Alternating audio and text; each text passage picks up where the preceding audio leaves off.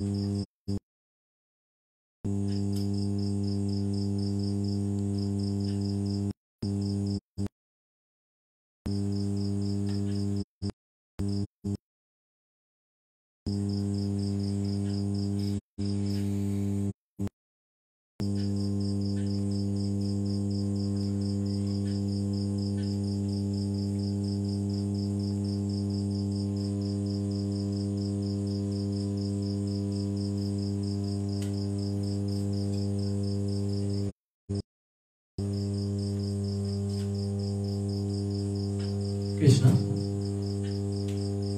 কাৰিকৰী বিজুতিৰ বাবে। আমাৰ এই কাট খাই গৈছে। পুনৰ আমি লাইভ অনুষ্ঠানৰ মাজলৈ আগবাঢ়িব বিচাৰিছো। পুনৰ এটি ৰাসৰ গীতেৰে আপোনালোকৰ মাজত এয়া মই বংশী আৰু কুঁৱলী দত্ত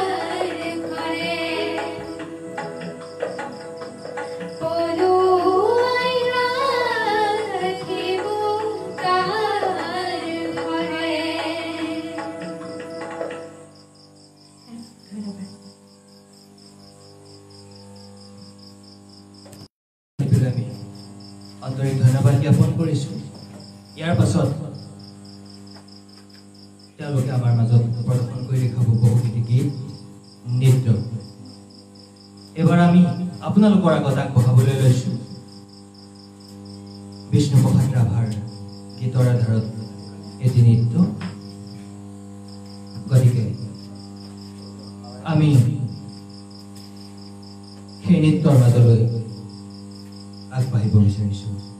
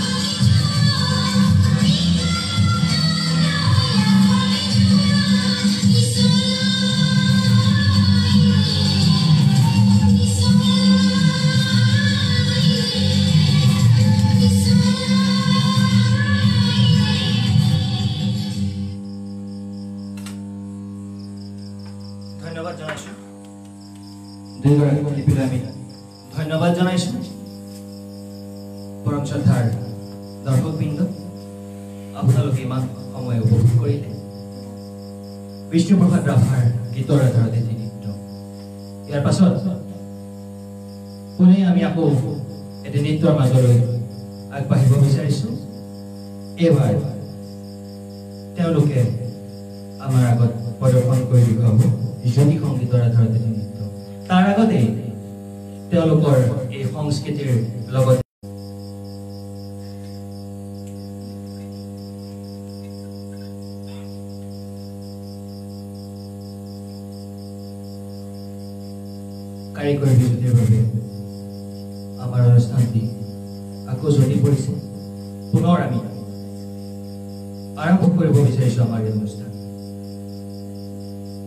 আমি শুনি আগবাঢ়িব বিচাৰিছোঁ এটি নৃত্যৰ মাজলৈ। জ্যোতি সংগীতৰ আধাৰত এই নৃত্য। গতিকে উপভোগ কৰোঁ আহক আমাৰ এই জ্যোতি সংগীতৰ আধাৰত এই নৃত্যটি।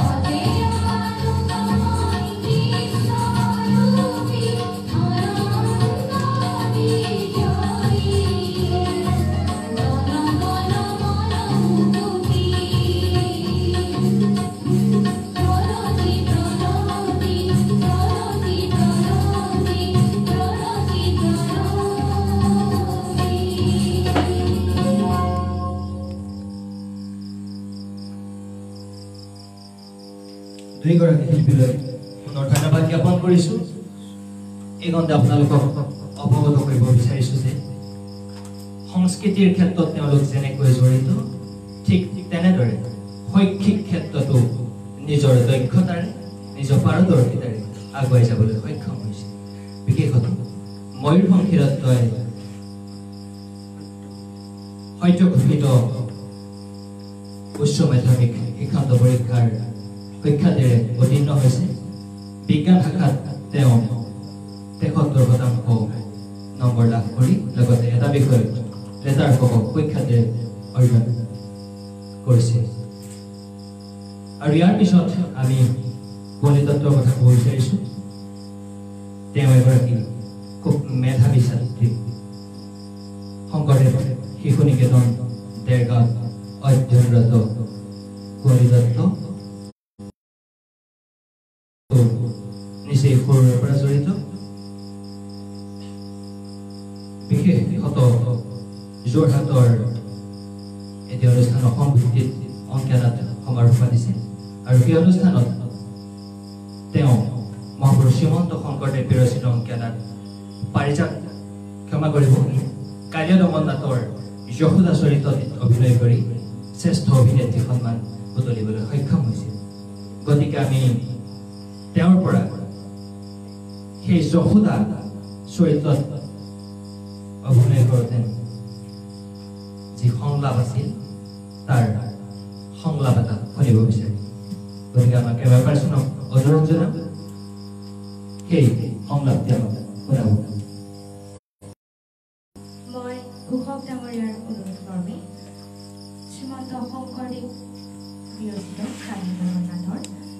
চৰিত্ৰৰ এটি সংলাপ ক'বলৈ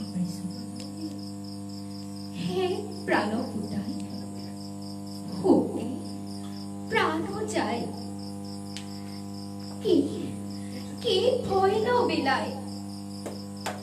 কহির দারুণ কর পাহি ভয় কালো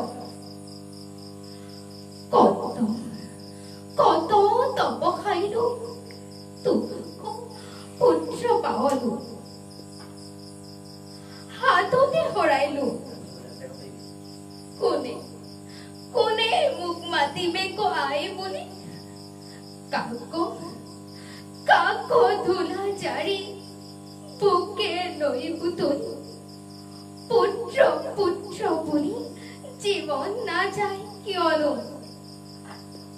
মই অভাগী। এই সুশান্ত বদন পুতাই নাহি মোৰ ঘৰে। ব্ৰজেৰ জীৱন, কমল নয়ন গৃহ কুহাই নিয়ে। প্ৰভাতে প্ৰভাতে কাহাক জগাইব পুতাই বুলি কোনে স্তন খাইব? কোনে বংশী বজাইব কোনে কোনে ব্ৰজেৰ আইব এই পুতাইৰ লগতে ময়ো হ্ৰদে যাম পদে ৰহ কৃষ্ণ। ধন্যবাদ জনালো শিল্পী কলি দত্তলৈ বিৰচিত অংকীয়ানাট কালীয় দমনৰ। কালীৰ হ্ৰদত যেতিয়া শ্ৰীকৃষ্ণই কালী দমনৰ উদ্দেশ্যে কালী দমনৰ উদ্দেশ্যে যেতিয়া কালী হ্ৰদত জাপ দিছিল আৰু তেতিয়াই মাক যশোদাই সেই কালীক আৰু কৃষ্ণক উদ্দেশ্যি এই সংলাপটি কৈছিল। পুনৰ আমি আগবাঢ়িব বিচাৰিছো আন এটি গীতলৈ অংকীয়ানাটৰ গীত। মহাপুৰুষ শ্ৰীমন্ত শংকৰদেৱ বিৰচিত অংকীয়ানাট পাৰিজাত ধৰণৰ এটি গীত। সেই গীতটি পৰিৱেশন কৰিব ময়ূৰ অংকীয়ানাটৰ গতিকে আমি গীতটি শুনোৱা হওকচোন।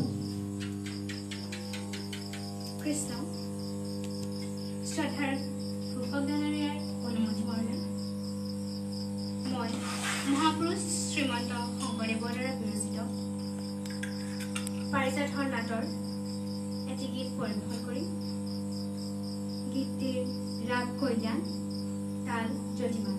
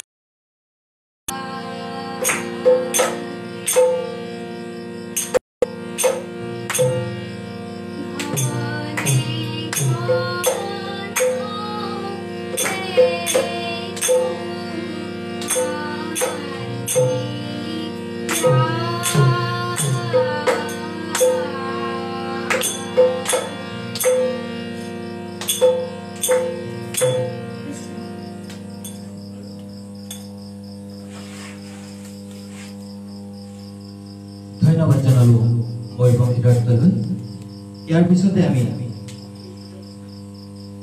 এটি ভূপেন্দ্ৰ সংগীত শুনিম গতিকে আমি সেই সংগীতৰ মাজলৈ আগবঢ়া